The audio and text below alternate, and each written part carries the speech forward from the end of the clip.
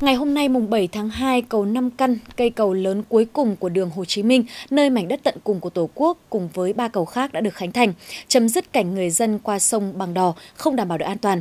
Bên cạnh đó thì đường Hồ Chí Minh đi thị trấn Năm Căn và đất mũi cũng chính thức được thông xe. Cầu Nam Căn bắc qua sông Cửa Lớn nằm trên mạch giao thông nối liền tuyến đường Hồ Chí Minh đến đất mũi. Cầu có tổng chiều dài 3.390 m, trong đó chiều dài cầu là 817 m với hai làn xe rộng 12 m bằng bê tông cốt thép và bê tông cốt thép dự ứng lực. Cầu có độ tĩnh không 3 m, đảm bảo cho tàu thuyền lớn qua lại. Tổng mức đầu tư hơn 650 tỷ đồng. Nam Căn là cầu vượt sông Cửa Lớn, sẽ nối liền hai huyện Nam Căn và Ngọc Hiển, phá thế ốc đảo cho Ngọc Hiển, huyện duy nhất của đồng bằng sông Cửu Long, lâu nay chưa có đường ô tô đi qua.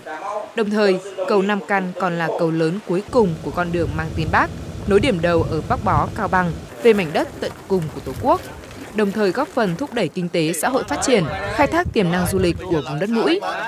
Cũng trong ngày hôm nay, các cầu Kinh Cái Tắt, Sáu Nạn, Chạy Lưới và đoạn tuyến đường từ thị trấn Nam Căn đến cầu Nam Căn dài 8,1 km với tốc độ thiết kế 80 km một giờ cũng chính thức được thông xe.